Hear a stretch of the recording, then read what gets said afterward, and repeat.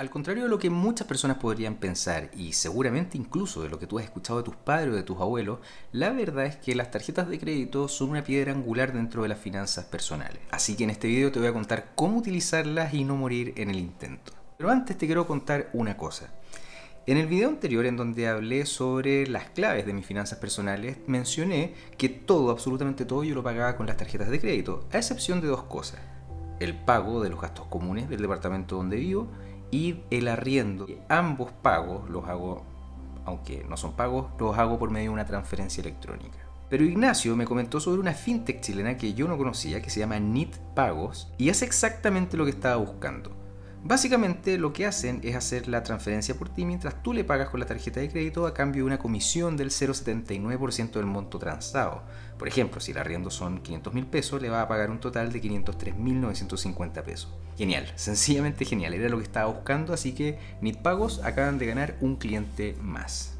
Ahora, una vez que entré a la página y empecé a revisar cómo era la plataforma y todo, me di cuenta que tienen recompensas por referido, en donde te premian con rebajas en las comisiones de los primeros pagos. Así que les dejaré por aquí mi código para que nos beneficiemos todos de este servicio que personalmente lo encuentro genial y lo voy a utilizar mucho.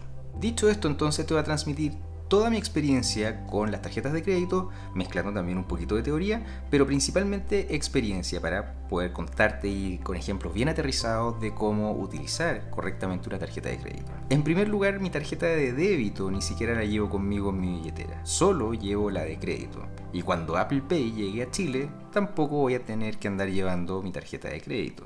En mi billetera, si se le puede llamar así, porque en realidad no tiene billetes, menos moneda, llevo actualmente solamente mi cédula de identidad y mi tarjeta para el transporte público. Las tarjetas de crédito son exactamente igual que cualquier otra herramienta, que obviamente depende el uso que tú le des, es la utilidad que te va a entregar. En mi caso particular solamente tengo una tarjeta de crédito del banco del cual soy cliente. No tengo más de casas comerciales ni de otros bancos, solamente una.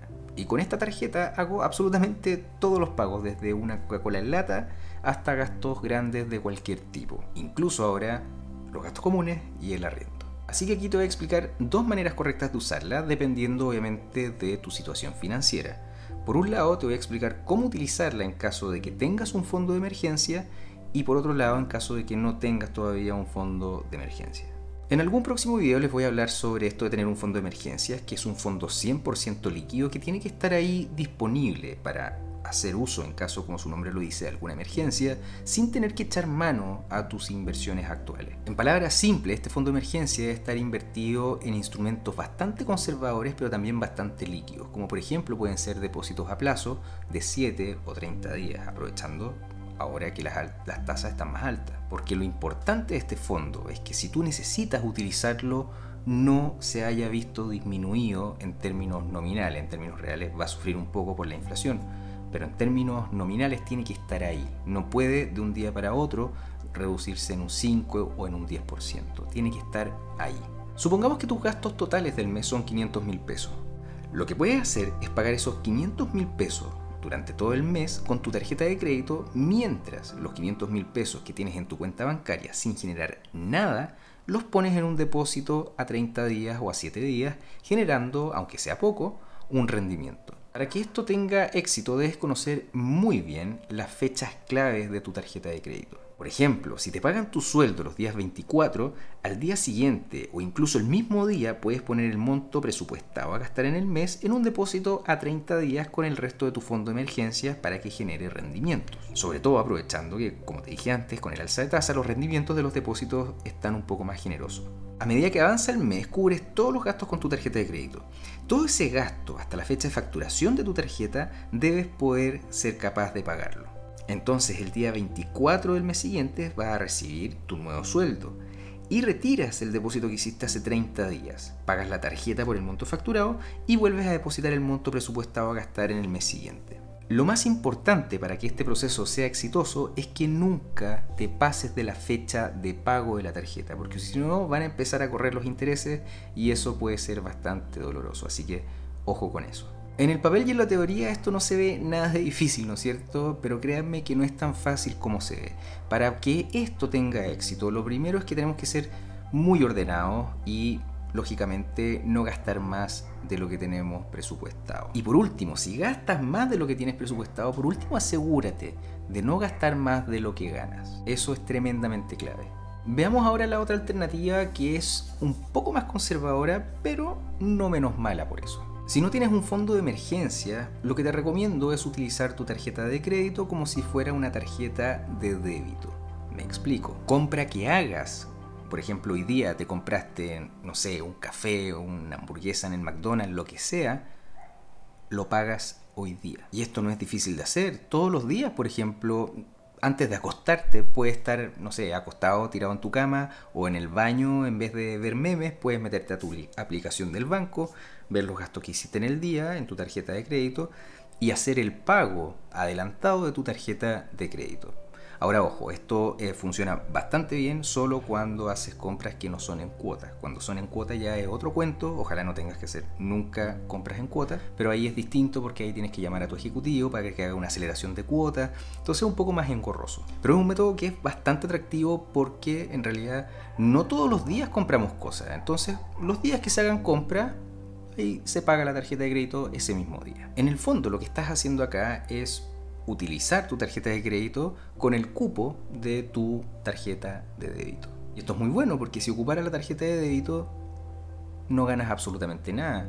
Pero si ocupas la tarjeta de crédito, cada compra que tú haces va generando puntos, millas, dólares, la recompensa que tu banco te dé. Y en ese sentido, mi recomendación es que tengas solamente un banco o una tarjeta de crédito. La mayoría de las personas que conozco, y esto es verdad, la mayoría de las personas que conozco tienen más de una tarjeta de crédito por si sale alguna oferta en la casa comercial A o si sale en la casa comercial B o si el banco X tira algún tipo de promoción especial por alguna campaña o lo que sea. Pero créanme que las personas tienden a tener más de una tarjeta de crédito y ni siquiera se acuerdan que las tienen ahí en el cajón. Nuestro cerebro no está programado para pensar en abstracto. No es consciente nuestro cerebro de dimensionar los cupos que tenemos utilizados en la tarjeta A, más la tarjeta B, más la tarjeta C. En general nuestro cerebro no se da cuenta que está gastando y no tiene una noción y un conocimiento tan absoluto de todo el cupo que tenemos utilizado. A menos que seas tremendamente ordenado, tengas una planilla bastante ordenada donde puedas ir poniendo más o menos seguido la cantidad de gastos que tienes en todas las tarjetas, pero eso al final hace que las recompensas que recibes por tu banco o por tu tarjeta comercial o lo que tú quieras se vean diluidas por otras ofertas que en realidad no muchas veces es muy eficiente.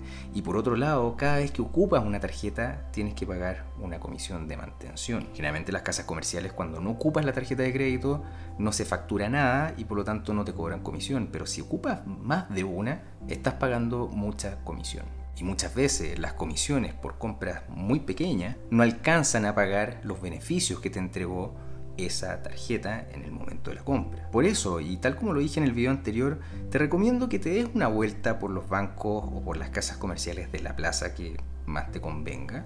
Te aseguro que vas a encontrar algún banco que te entregue los beneficios más eh, amplio posible para que puedas utilizar y concentrar todos tus pagos en una sola tarjeta.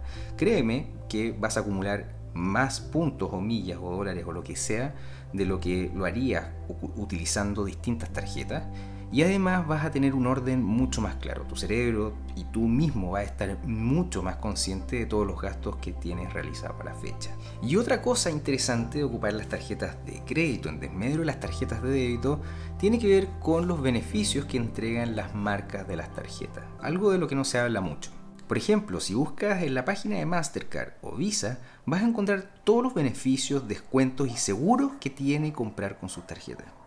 Por ejemplo, hay protección de compra que protege tu compra entre pérdidas, robo dentro de los primeros 90 días desde que la compraste, o garantía extendida que duplica la garantía que da el fabricante al producto que estás comprando, o también seguros de compra en tu viaje, en donde te garantiza la tarifa más baja, por ejemplo, en hotelería. Además, lógicamente, los servicios adicionales de poder entrar a los salones en los aeropuertos o tener redes wifi gratis, etc. Como pueden ver, al menos para mí, utilizar una tarjeta de débito no tiene ningún sentido, por lo menos en la época que estamos viviendo. Las tarjetas de crédito tienen infinitamente más beneficios que una tarjeta de débito.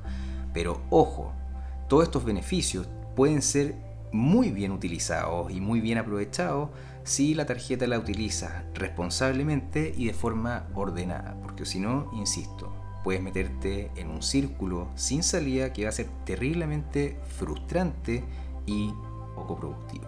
Lo importante, y lo vuelvo a repetir, es que seas ordenado, ordenado y responsable con el uso de tus tarjetas. No es fácil, lo sé, pero créeme que vale mucho la pena. Bueno, eso ha sido todo por este video, espero que les haya gustado, un abrazo y hasta la próxima.